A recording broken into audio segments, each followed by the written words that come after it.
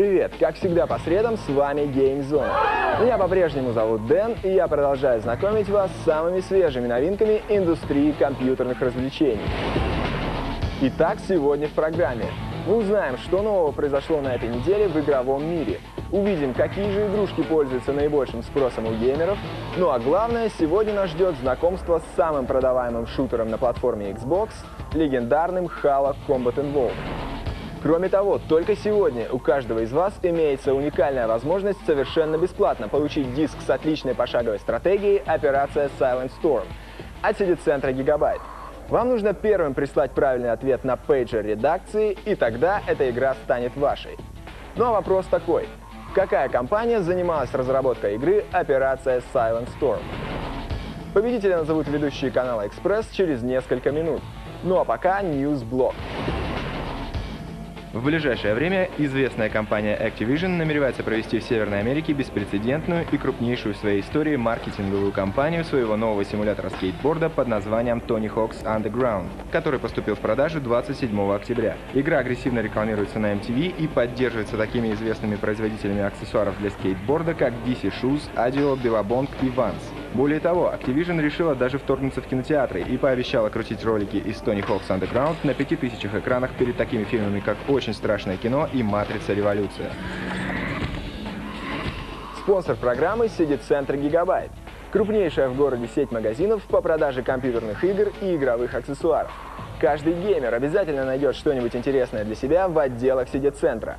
Музыка, софт, DVD и, конечно, огромный выбор компьютерных игрушек. Ну а далее нас ждет рейтинг самых популярных игр недели. Пристегните ремни безопасности. На пятом месте в списке самых популярных игр недели Ягер. Этот футуристический FPS всерьез намеревается сломать стереотипы о том, что давно забытый жанр боевых воздушных шутеров умер. Последний удачный опыт на поприще создания подобных игр датирован далеким 95-м, когда вышел Terminal Velocity. Ягер с легкостью поворачивает время вспять, заставляя испытать те же ощущения, но усиленные ровно в 10 раз.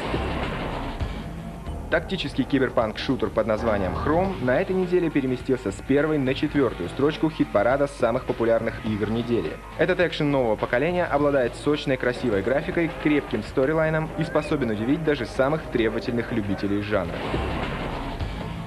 Есть во Франции такая серия комиксов под нетривиальным названием «13», которая отличается изрядной популярностью, а ее создатель Жан Ван Хэм – изрядной креативностью. Первую серию он нарисовал почти 20 лет назад, в 84-м, и до сих пор умудряется удерживать интерес аудитории. Программисты из Ubisoft взялись оживить творение Ван Хэма. В результате получился вполне достойный шутер от первого лица. 13 на этой неделе на третьем месте в рейтингах популярности.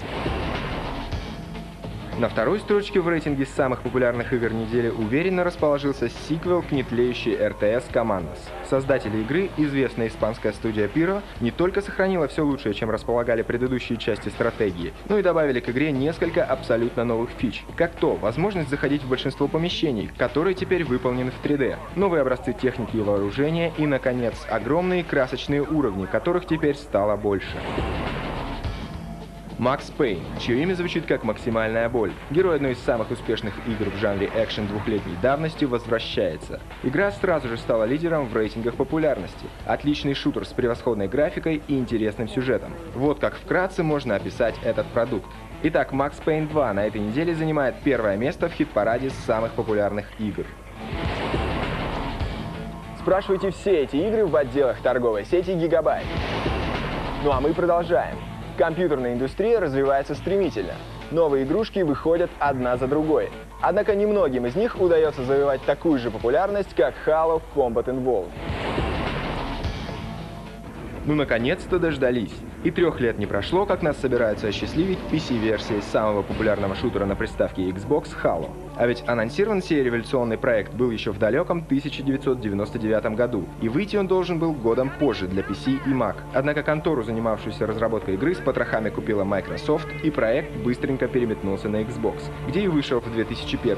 Потом были бешеные тиражи, заслуженное признание, восторженные отзывы всех, кто хоть что-то смыслит в компьютерных играх, а еще долгие и томительные годы ожидания появления появления PC-версии. О сюжете многие, наверное, уже что-то слышали, но на всякий случай слегка освежу вашу память. Речь идет, как нетрудно догадаться, о далеком будущем. Человечество выросло из колыбели под названием Земля и отправилось осваивать ближний и дальний космос. Планеты колонизировались одна за другой. Наука и технологии делали гигантские шаги по направлению к светлому будущему, пока однажды человечество не вступило в контакт. Шел год 2552.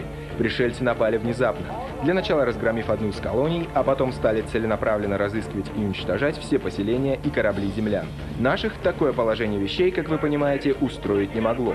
Было решено дать самый решительный отпор агрессору. На секретной научной базе приступили к разработке солдат-киборгов «Спартан-2» секретного оружия, которое должно было навсегда избавить землян от инопланетной угрозы. Однако пришельцы разгромили исследовательскую лабораторию, уничтожив вместе с ней и все разработки. Один из кораблей, к счастью, успел удрать. На нем же улетел и единственный уцелевший супер-мегавоин. Получив управление киборгом в свои руки, сразу же понимаешь, что перед тобой вполне достойный sci-fi шутер. Вроде бы ничего особо революционного на первый взгляд не заметно, но это только на первый взгляд. Сначала приходится бегать по многоэтажным лабиринтам корабля, отстреливаясь при помощи членов команды от вездесущих космических инвейдеров.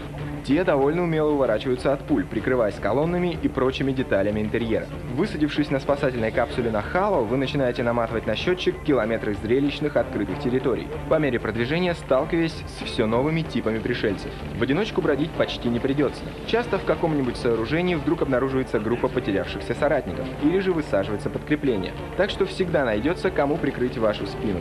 Командовать товарищами нельзя, это несколько разочаровывает. Зато можно сажать солдат в технику, которой в Хало немало. Танки, истребители, джипы. Можно сесть за руль джипа и рулить, или сидеть рядом и палить из своей винтовки, или же забраться на машину сзади и выносить всех из расположенного там тяжелого пулемета. Всем любителям качественных FPS с непременно эпической историей о спасении человечества от инопланетной нечисти игра обязательно понравится. Потрясающая графика и нереальный звук, смышленые противники и интересный дизайн уровней, богатый арсенал оружия и возможности управления техникой. Halo стала одной из самых продаваемых игр на Xbox. Станет ли она столь же популярной и на PC, время покажет. Halo уже продается в отделах CD-центра Gigabyte. Всем любителям качественных шутеров игра, несомненно, придется по вкусу. Ну а я на этом с вами прощаюсь.